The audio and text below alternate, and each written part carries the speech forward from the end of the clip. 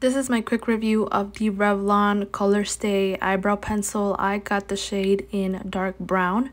So far, I have been loving this pencil. It definitely has filled in my brows very nicely. I prefer a pencil over a powder eyebrow. I feel like with the powder eyebrows, as soon as you touch it, it smudges away and not with this one. This pencil has a precision tip, so it allows you to add sort of strokes of hair to your eyebrows without really having hair there. One of the best things about the spoolie is that if you go too hard or make it too dark on one side, you can just brush it out and it cleans up any clumps that you may have added or any harsh lines. And now with every eyebrow that I do, I like to clean it up with some concealer and this is what they look like. I love it.